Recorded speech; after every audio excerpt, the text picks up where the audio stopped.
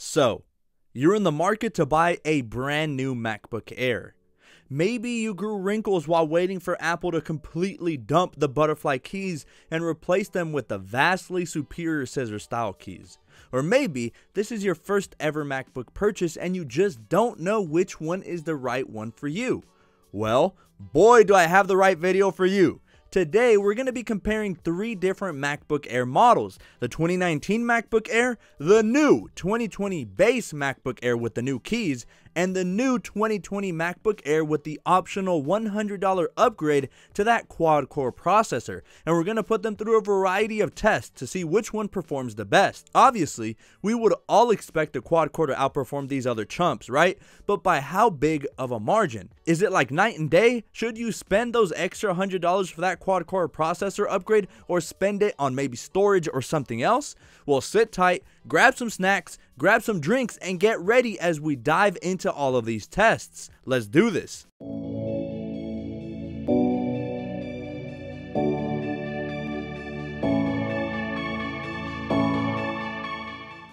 Okay, so first things first, specs, as this is the number one most important factor when performing these stress tests. These are the technical specifications of each MacBook Air on screen right now. In particular, when I'm buying Macs for my own personal use, I tend to prioritize my processor and RAM, simply because I do a lot of heavy video editing, photo editing, and in general am doing multiple things all at once. So for me, specs are a big deal, as they should be for all of you when you drop this much cash on a computer set to last you several years.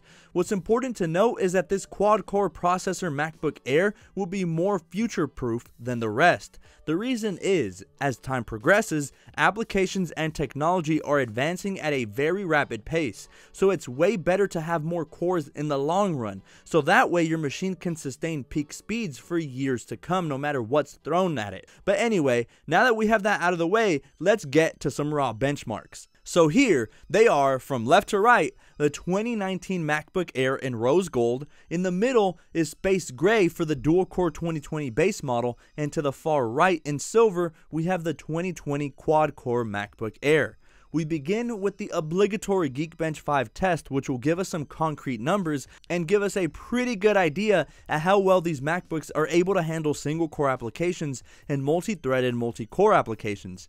Geekbench is arguably the holy grail of benchmarking and is the test most people go to when trying to tap into what a computer is capable of. I'll always go from left to right for this video unless I state otherwise. So for single core, our 2018 MacBook Air with the 8th generation dual core i5 scored 716. The base 2020 MacBook Air with the 10th gen dual core i3 scored 891 and then the higher spec 10th gen quad core i5 came in at 1122. Just with these results, the $100 upgrade is already looking very promising. Now, for multi-core again, from left to right, last year's model scored 1593. The base 2020 scored 2067, and the 2020 quad core scored a much higher 3310. What do you think? $100 worth it? Absolutely. Okay, video's over. See you guys next time. Nah, I'm kidding. Next up is another popular test, and this one really cranks up the fans. Sounds like an airplane was taken off. Man, I wish I could take off on a plane right now, but instead, we're all on lockdown. Darn it, man. This is the Cinebench R20 test and really taps into just about every ounce of power within the system. The fans crank up, processors turbo boost, but eventually stabilize, and these computers get hot so hot, I'd literally say you could probably get some kind of mild first degree burns if having this on your lap for a really long time. I had the Intel Power Gadget tool running just to make sure, and yup, every single machine maxing out on temperature and saw little variation between temperatures. All cranked up and all extremely hot. But anyway, the 2019 did lag significantly behind and finished this test way later than the other two, but after some time we get a score of 566 for the 2019 Air, 676 for the base 2020, and 973 for the quad core. Do you see where I'm getting at? Look at that insane bumped improvement for just a hundred bucks more.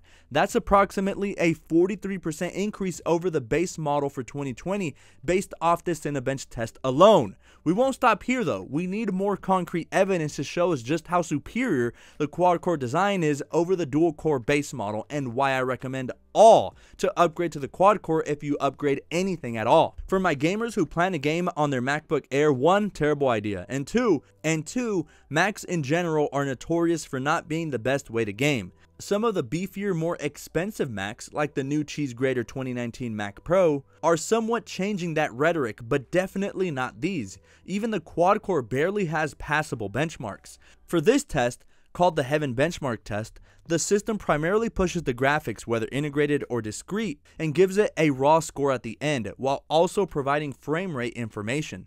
In terms of raw score, the 2019 Air got a 322. That's miserable. 468 for the base 2020, and 545 for the quad core. Again, these scores are pretty awful as compared to Mac desktops and are leagues behind some of the other PCs and other Windows laptops on the market. For frames per second, the 2019 scored an abysmal 12.8 frames per second. Like, what can you play on this MacBook? Seriously, Tetris? The base 2020 scored an improved yet still awful 18.6 average frame per second, while the quad core MacBook Air scored 21.6, and even then, 21.6 frames per second is just unplayable for most die-hard gamers. The Intel Iris Plus graphics found on the majority of the newer Airs isn't anything too impressive, but as is evident, that quad-core came in clutch and did provide with slightly better results. Now, while on the topic of graphics, there's this other test I really like called the metal test. It's a really good one as it tests a multitude of different aspects to a computer's graphics capabilities. Within this test, you have basic flashing 2D scenes and others being full 3D animations. For this one, I performed the 1440p Manhattan test as well as the Aztec Ruin test, both being pretty graphically demanding, and then the computer spits out an average frame per second to see how well it performed. We'll start with the Manhattan test, and the 2019 MacBook Air scored yet again a terrible score, coming in at 17.29 frames per second. Are we still surprised at this point though? The base 2020 averaged 29.544, almost doubling the performance of the previous gen, and the quad core MacBook Air for 2020 scored 34.027 frames per second, which to me is passable, I guess. Then we ran the Aztec Ruin test, being the more graphically intensive of the two, and can see the 2019 Air averaged 9.08 frames per second. Yikes. No comment there the 2020 base at 11.67 frames per second, again pretty terrible, and the quad core also with a pretty low score but still more than double than the base 2019 Air at 19.12 frames per second. So yeah, if it isn't obvious yet, don't get an Air if you're going to do anything graphically intensive on it or gaming at all. You can always buy an eGPU to boost its performance, but why? Just invest your money in a MacBook Pro in that case or a PC if you're purely looking to game. Alright, we now move to disk speed performance, namely our solid state drives, also known as SSDs. MacBooks luckily across the board all have pretty speedy SSDs, and it's no different with all of these MacBook Airs. While not blazing fast and certainly not as fast as the SSDs found in the likes of the MacBook Pros, we still see pretty good speeds. Luckily, we did get our storage increased twofold on the new models, so the 2019 I have here is a base 128GB, while the 2020 base and quad-core both sport a 250 256GB SSD. On read speeds, the 2019 Air was averaging above 1800, almost 1900, and the 2020 models were just about neck and neck, hovering around 12 and 1300. While on the write speeds, the 2019 Air sits at roughly 900 megs a second, while the 2020 base was scoring 1000 and the quad core about 1300. There is some variation here and there, but they'll all overall give you about the same speedy performance from the SSDs. And now this is the test that ultimately delayed this video. This video was supposed to come out yesterday, but I was shocked at just how long this test actually took. My god. Luckily, off camera, I was able to enjoy regular show. Can you guys believe I just started getting into that show? It's hilarious, and I personally dig the episodes having to do with Muscle Man the most. Uh, but anyway, this is the Blender test, and I opted for the quick version of the test. How ironic. Blender conglomerates much of what the metal test does, cranks the CPU to its limit, and then the GPU, and at the very end, gives you the time and how long it took to complete the test. Here, shorter is better, meaning it finished the test faster. If I recall correctly, in my 16-inch MacBook Pro comparison, those models finished in roughly about 20 minutes. These, however, uh, doesn't look too hot, man. The first to finish was the quad core Air at 1 hour and 9 minutes Following that, much, much later, the base 2020 MacBook Air finished in 1 hour and 45 minutes, and trailing just behind it was the 2019 Air at 1 hour and 47 minutes, just 2 minutes later. I really wasn't expecting them to take this long, but in the name of testing, it was worth it and is evident that the quad core is just the way to go. I sound like a broken record, I know. I hope you get the gist by now, but finally, we arrive to my final test. In case any of you guys are wanting to do some light video editing, this one's for you. Normally for an Air, I would say pick it up if you anticipate to do very light video editing, nothing too crazy. If you pick up an Air and film at 4K, that may cause trouble too, as the rendering times may be longer than expected, but for short projects, this should do just fine. In this test, we took the same 3 minute video on all three computers and exported them using the same exact compressor settings on each one. Usually when I'm exporting, I normally take advantage and create my thumbnails while the video exports, and on the Mac Pro, man, exporting times are blazing fast. Here, the 2020 quad-core Air finished this lightly edited video first, once again finishing at 6 minutes and 33 seconds followed behind the 2020 base model at 8 minutes and 41 seconds, and dead last, lagging way behind, feel like it took a quick snooze to be honest, the 2019 Air finished at 21 minutes and 20 seconds, a huge slouch for sure. So pick your configurations very carefully ladies and gentlemen, especially for those that require this for a job or to make money, where time literally is money.